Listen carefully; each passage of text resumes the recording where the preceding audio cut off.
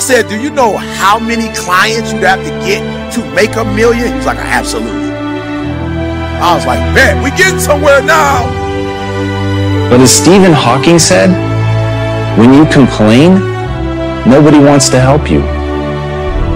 So what are you made of? What are you prepared to do? Are you holding on to something that won't help you to push the extra mile? That won't help you to push that extra rep that you need? Will you finish what you start? Or will you make excuses? See, when you go to a job and, and you already know how far you can go, you can already see that proverbial glass ceiling. Look, look, I want you to look at your goals. And I want you to ask yourself this question. Do you know what it takes to make that happen? Like, do you, like, like literally, like, cause this is all it's gonna take. Three things, it's all it's gonna take. Do you know what it takes? And you guys have an advantage because you've been at this conference, I think, three days, you got a whole bunch of information. Look, the only thing it takes to go from where I went to, a homeless, high school dropout, sleeping in abandoned buildings, eating out of trash cans, I went from being a high school dropout, getting a GED to having a PhD. Listen to me, the only thing it takes is knowing what it takes. So one day I woke up and was like, okay, E, stop talking about what you don't have. You need to know what you don't know so you can get to where you're trying to get to. Listen to me, guys. I'm real simple. The first thing I'm going to ask you, do you know what it takes? That's it. There are many things in your life you have every reason to complain about. You have every reason to be upset by the things that have happened to you. The most sinister thing about excuses is they're valid. There's a million reasons why you should be able to give up. There's a million reasons why you shouldn't need to try. That thing that broke you, you should be allowed to just sit on the ground. And here's the thing, that's your right. You have every reason to do it. And maybe people won't even think less of you. But here's the truth. You either become weaker or stronger in the places that broke. And that's a choice of how you react moving forward.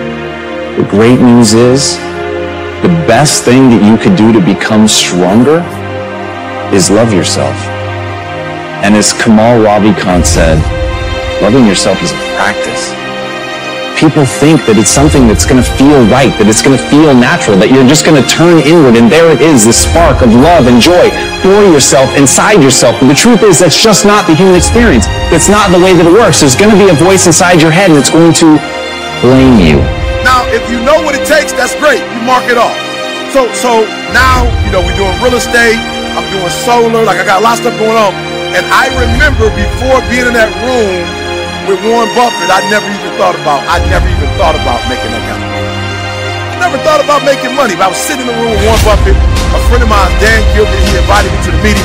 I'll never forget. He called me like, it was during December, like Christmas, this before Christmas. He called me, like, E, what you doing tomorrow? I'm like, oh, what's going on? He's like, I've got Warren Buffett here and probably about 30 other guys. Like, what do you mean what's going on? You bringing Warren Buffett, Dutch Warren. Like, what, would I, what, what was I doing? You know? Like, what was I doing that was that important that I'm not going to be in the room with Warren Buffett? So I get in the room with Warren Buffett, and what blows my mind is that he's. Remember, I just unleashed all your dreams and goals. All your dreams and goals. I want, look, there are those of you who watch people on TV and you go, oh, and you admire them and you love them. And some of you watch so much TV because you really want to live your dreams through somebody else. You're not ready to. It's going to say that it's your fault. And no matter how many times people on the outside tell you that that is not true, that this thing happened to you, that it isn't you, it doesn't define you, there will be a voice that's going to tell you that it does. And that's where you have to fall back on process. That's where you have to realize that you literally have to practice loving yourself and that it's okay that no matter what happened, there is absolutely nothing that invalidates that you're worthy of your own love but you've got to practice it. You've got to be willing to do it. You've got to be willing to put in the reps. You've got to know that it's not going to feel right, but you've got to know on the other side of that is a vision of your life where you actually do love yourself. Because you took the time to say it. You took the time to practice it. You took the time to sit there and feel stupid and say that you love yourself. And sometimes just putting in the work is what you need to do to get strong. So put in the work. What is it going to take for you to wake up and realize that in this place there is no easy? Easy is not the way to go. You can't get strong being easy. You can't get faster being easy. You can't be the best makeup of yourself being easy. Easy won't pay your bills. You can't cash that check being easy. Hard work, determination is the key when you in this place of business. Are you truly ready to show up? Because if you're not ready, you came to the wrong place. Because in this place, See, when you're going someplace and you already know how much you're going to make, you already know how far you can go, you're in a dead end position. It erodes your self esteem, it lowers your sense of yourself, it creates some inner turmoil, it creates an emptiness in you. So I say that your life is worth finding what it is that you're supposed to do.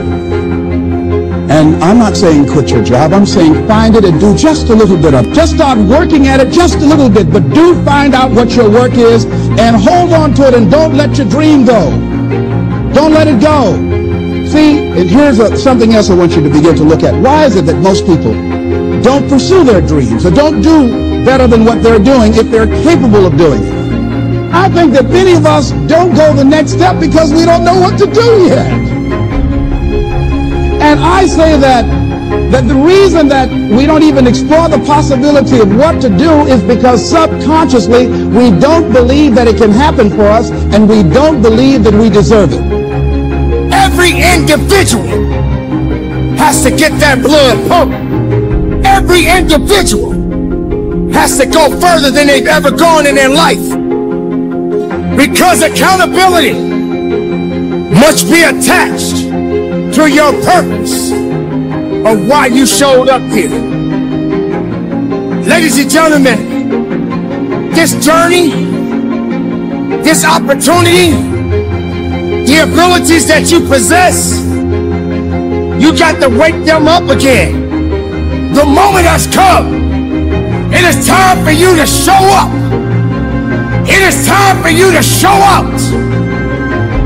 And there will be obstacles that you must face. And for each obstacle, it will represent something about you. So here's what I'm suggesting. How much time do you spend working on you? How much time do you spend every day working on your dream? In the last 90 days, how many books have you read? In the last year, skill or knowledge have you acquired? What kind of investment have you made in you? So I'm saying that as you begin to look at where you want to go, if you want to make it today, and things are changing so fast, you have to literally run to stand still. I'm saying that you've got to make some conscious effort to begin to work to develop you. Here's something else. Most people are not living their dreams because of fear, ladies and gentlemen. Fear, limited vision, and lack of self-esteem is what keep most people doing things they don't want to do.